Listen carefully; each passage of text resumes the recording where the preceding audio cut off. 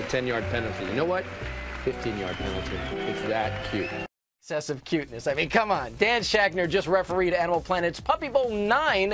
It, of course, aired on Super Bowl Sunday. And today, listen to this Showbiz Tonight learned exactly how obsessed America is with the Puppy Bowl. Brand new revelations, including the news that 12.4 million people watched the Puppy Bowl marathon. That's amazing to me.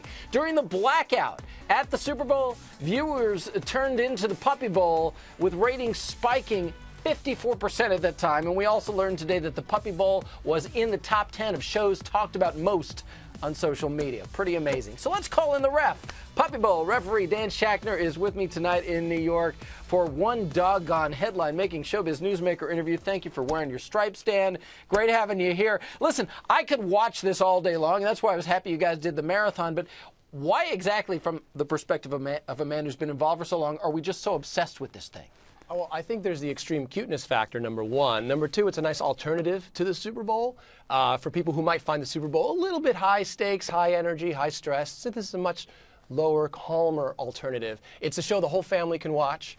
Um, and it goes on all day. And as you just heard, I mentioned that ratings spiked 54% during this blackout. Let me ask you, when you knew the blackout had happened, when yeah. you were watching it and saw the lights go down at the Super Bowl, were you saying to yourself, yes? And were you calling the other people involved in this thing? Well, frankly, I didn't even know there was another game that day. Oh, right, of course, I'm me. sorry. But apparently there is a Super Bowl that day. Um, and yes, people told me that during that time people switched over. I did think that. During the blackout, I thought, you know, this is going on a little while. This is certainly going to help us. And it did. We reached uh, tremendous amount of viewers. And we were the second most viewed show that day, which that, is incredible. Behind I mean, that really, it's like American Idol numbers. That's pretty amazing. and of course, I have to wonder, as I've watched you do this throughout the years, what it's like to be a ref at the Puppy Bowl. Now, I don't necessarily need details on exactly right. how many times the puppies pee on your shoes, but you first, first, let's watch you in action in this thing. Go. Okay. Time out. Napping. Come on, everybody join in. It's a good idea. No, no, no, no. Nap time. Quiet time. Quiet. Okay, everyone calm down. Let's just take five. We've had a long day. You guys are not hearing me. Okay, I'm gonna have to throw a flag. All right. Excessive puppies on the ref. All of you, 10 yards. Now, now, now, Dan, I got to tell you, I really enjoy what I do for a living.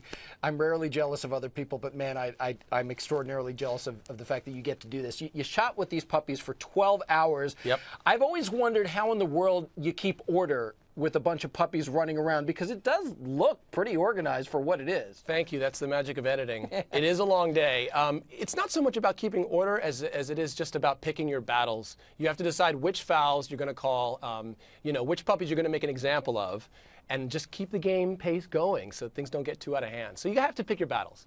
And one of my favorite things about the puppies is that they are rescues provided by yes. a great organization, PetFinder.com, and some of them do unfortunately come from some pretty bad circumstances. But as an animal lover and activist, I was so pleased to learn that all of the dogs we saw in the Puppy Bowl have been adopted, and I imagine for you that's particularly gratifying. Yeah, they get adopted pretty quickly, as you could imagine. But the good news is, is that if you're watching the Puppy Bowl and you see a particular breed or dog that appeals to you and you want, just go to PetFinder.com and they will help you find a dog in your local shelter or rescue center that uh, might be a good fit for your home. See, it's fun to watch, and you're doing good, Dan. Thank you We're so trying. much for being with here. It was great having you. Thanks for having me.